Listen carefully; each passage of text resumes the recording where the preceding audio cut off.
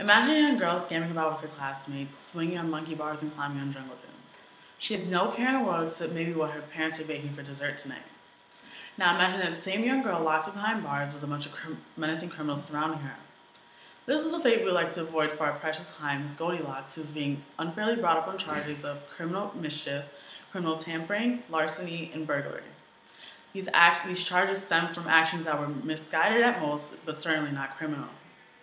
Our team of attorneys, myself, Ariel, Karen, Isabel, and Stephen, will assist the jury in seeing the innocence of this precious little girl. I'm certain every last one of you was a child, whether it was distant or near.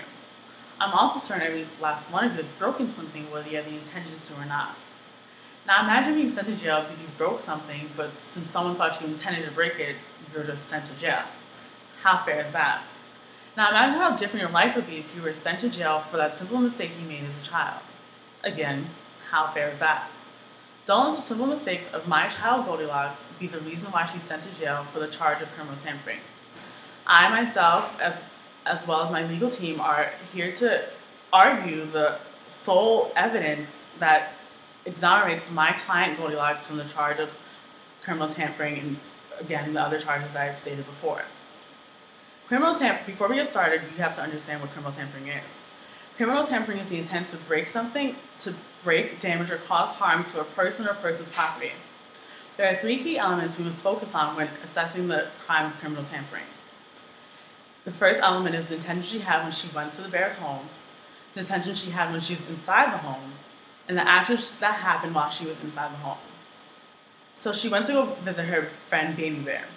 Multiple times prior to the day of the incident, Baby Bear has invited invited Goldilocks to his home. It just so happened that the day she decides to actually come, he's just not there. She knocks one, not once, but she knocks twice. No one answers the door. That sole, that sole gesture should be the sole reason why you guys understand that my client is, innocent of criminal tampering. She could have easily just went through an open window or could have walked through the door, but, but since she gestured and knocked on the door, she had no intent of causing any harm. Secondly, she goes into the home. She asks, is anyone there? Again, that gesture alone should, should show that my client is innocent of the, of the crime of criminal tampering. She could have easily just walked in, went through the door, went through the window or door, and just started causing havoc throughout the house. But again, my, since my client is innocent of criminal tampering, this, this is important to the facts of the case. So she goes into the house and she plays. She sees immediately sees Baby Bear's toys. She starts to play with the toys and wonders, "Oh, my toys are kind of better than Baby Bear's." Just because she feels as if her toys are better does not mean that she's she's guilty of criminal tampering. According to the witness report, there was no there was no damage to the toys. She was simply playing with them. She continues on into the kitchen. In the kitchen, there is there was bowls of pudding on the table again, after a long walk through the woods of trying to visit her friend Baby Bear and knocking on the door and looking throughout the house and playing with toys, she's a little hungry. She built up an appetite. So she eats Baby Bear's pudding. If Baby Bear's parents were home, Mama Bear would have easily offered Goldilocks some pudding, but since she wasn't home, my, the prosecution is going to argue that she, she illegally ate the pudding. Now, she's nourishing her growing body, and to be charged for nourishing her body because of a long day of walking through the woods is cruel and unusual punishment. After she eats the pudding, she goes and sits in a chair after a long day. Her legs are tired, she's just trying to relax. She sits in Baby Bear's chair and she breaks it. The, I will I will argue that the chair was faulty from the beginning. She Goldilocks saved Baby Bear from a terrible fall that could have easily caused a broken arm or a broken leg.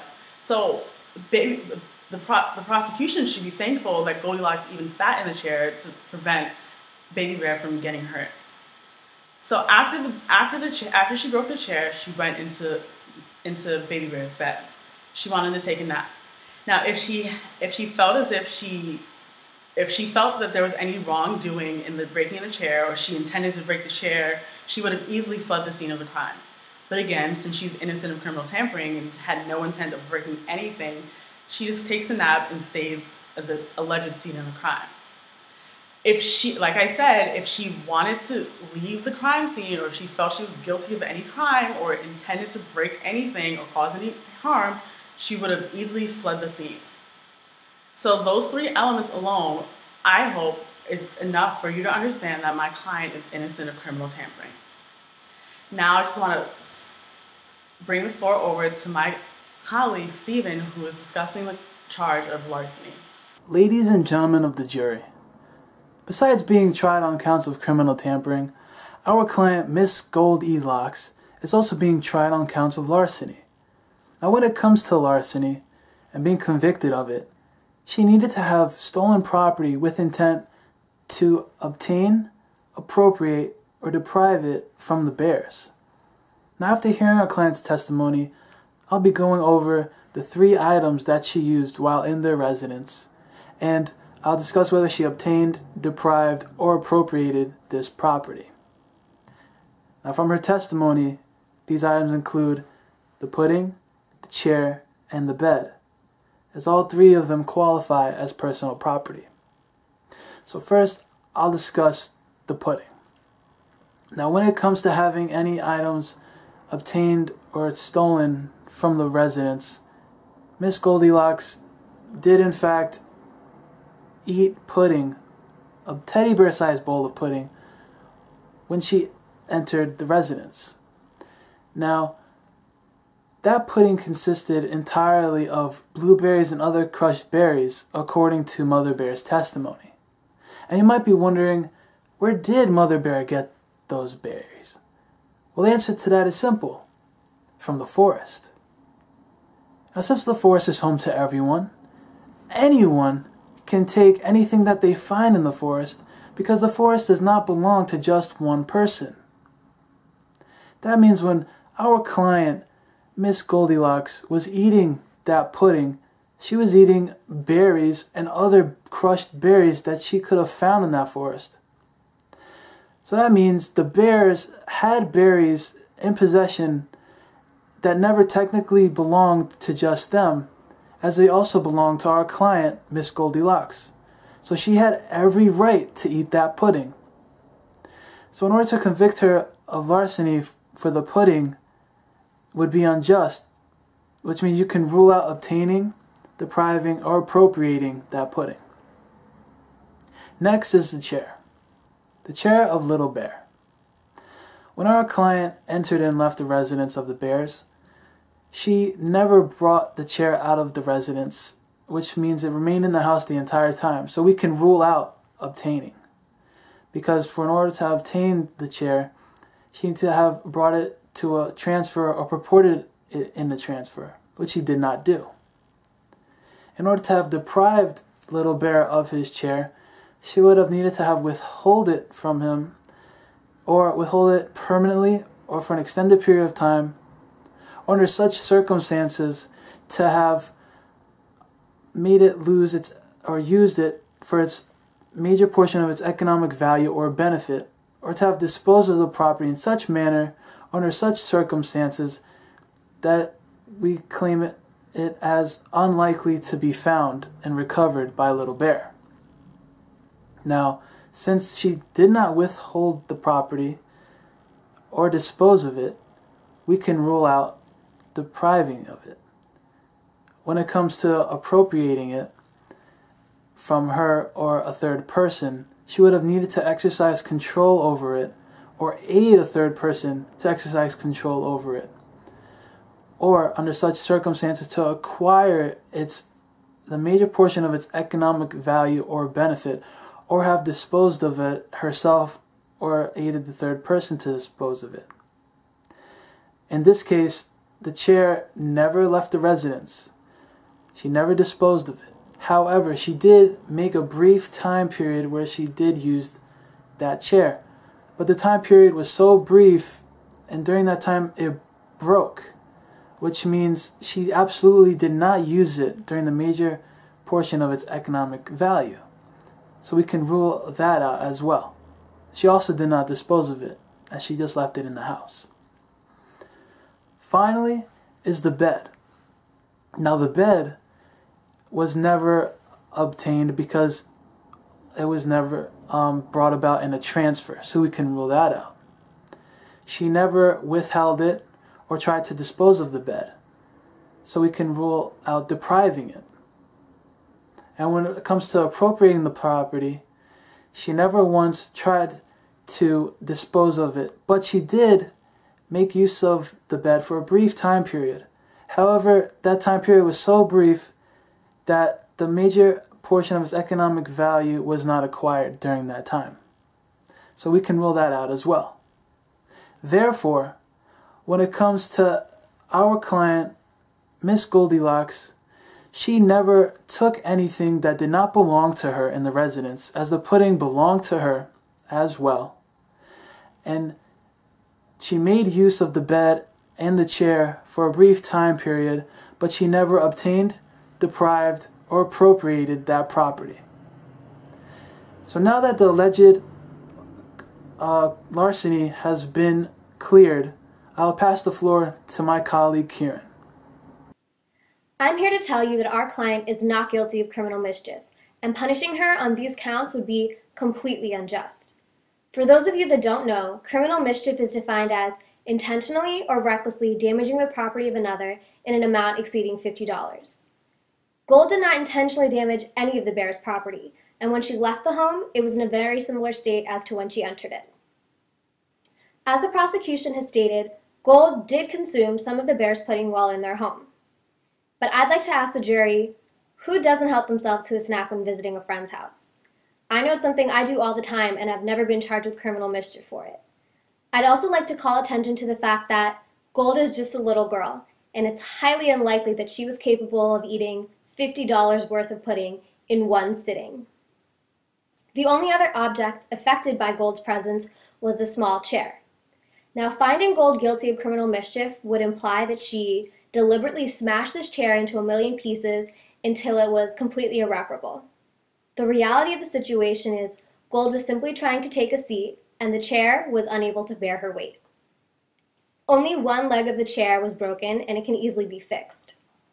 Finding Gold guilty of criminal mischief for helping herself to a snack at a friend's house and for accidentally breaking a chair when trying to take a seat would just be giving a little girl serious body image issues.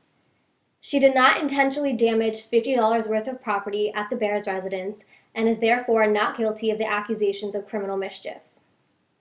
And now I would like to pass the floor to my colleague Isabel to discuss with you the charges of burglary.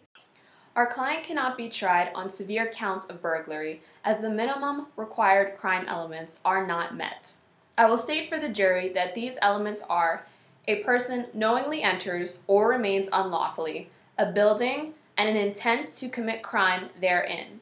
The prosecution may have their own interpretation of these events, but I will clarify these accounts for you to assure you that Gold is just a child who is looking for her friend Baby Bear to play with. First and foremost, Gold arrives looking for her friend Baby Bear. Baby Bear had invited Gold over on many occasions, and she was taking him up on his offer. She arrives at the door and knocks, clearly announcing her presence, not attempting to conceal her presence from those outside or those she believes to be inside. Believing that people are inside, Gold enters and she enters with the assumption that she has the privilege to do so, as she is Baby Bear's friend. Since Gold has an intent to play with her friend, this criminal intent the prosecution advocates for is over exaggerated. She enters thinking to herself, perhaps I should go see what toys Baby Bear has to play with. Maybe he has toys I don't have yet. This statement advocates the fact that Baby Bear has no intention to steal any of Baby Bear's possessions. She can easily go to her parents and request that they get her whatever toys that she likes. There is no point to steal toys that she would have in the near future. There is no crime against window shopping. A child in search of her friend is hardly any reason to charge Gold. The prosecution may demand severe charges for Gold's entering separately secured rooms but the defense negates this. The building itself is a dwelling, and as defined here, a dwelling is a structure that is used by persons for overnight lodging. And while each bed is claimed by a different family member, None of those beds are separately secured. Gold states that she walks upstairs and is immediately able to discern which bed belongs to Baby Bear. If the beds were separately secured in different rooms, she would have not been able to immediately tell which one belonged to Baby Bear. So, the prosecution may state that Gold never had the privilege to be in the household because she runs as soon as the bears arrive. However, she is a child, and she was taking a nap, and as she awakes, she sees bears looming over her. Any child would be disturbed by that sight, seeing as Baby Bear is the only bear who can be described as a teddy bear. Furthermore, Baby Bear confirms her privilege to be in the household as he asks her to stay. For all these reasons, the case seems to be only a misunderstanding between the plaintiffs and the defendant. To conclude this trial, the defense would like to say that Gold should not be condemned for these alleged charges. She is a child and should be tried as such. She is not on the level as criminals who have been punished for serious and heinous crimes. In reference to criminal tampering, Gold had no intent to sabotage or damage any of the bear's property, as Ariel details in her section. Stephen explains that there is also no intent to steal or deprive any of these items from the bears, nor is any of the majority of their economic value depreciated. The interaction between these items does not constitute criminal mischief, as Kieran discusses. Gold enters and helps herself to a snack, as would any guest in a household, and only accidentally breaks a chair that belongs to Baby Bear. Neither of these items is in excess of $50. From the beginning, we see that there is no criminal intent on Gold's part. She enters with the intention to play with her friend, and she does not break into separate spaces in order to attain any valuables. As per the invitation of Baby Bear, when the bears arrive, it is clear that Gold does have the privilege to be inside the household. I would like to repeat that these actions stem from a place that is somewhat misguided, but they are not at all criminal.